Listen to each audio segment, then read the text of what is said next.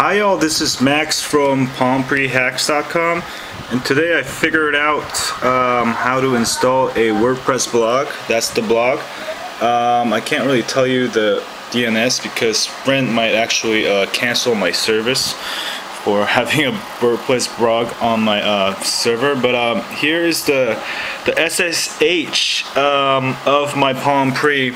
It's actually running on EVDO now, so um, let me just go here and then I'm just gonna refresh refresh this uh, um, I'm gonna reload this so you can see that uh, the processes are running. So I reloaded I, am hitting the reload button about 20 oh I'm DDoSing my own uh, Palm Pre here with my WordPress blog and as you can see uh, the PHP FCGI is running which is the light HTTP PD um, and also you see the MySQLD running.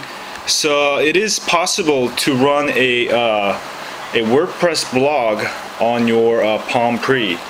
Um, so I can actually browse to uh, Hello World. Well, I haven't done anything. Um, it's loading. So, so as you can see, running a WordPress blog. Um, I might I might try to do more stuff with it, but uh, you can check out all the instructions on my uh, site. Uh, and there you go, WordPress running on my Palm Pre. How cool is that?